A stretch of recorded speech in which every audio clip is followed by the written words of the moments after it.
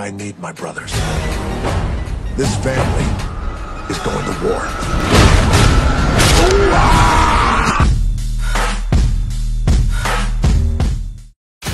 Would have thought this is where we're gonna save the world.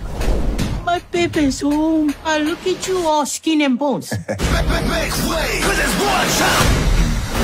Mama, where's all our guns? I get rid of them. Let's get old school. Gonna fight with this. I'm gonna fight with this. You're gonna get one Samoan ass whooping.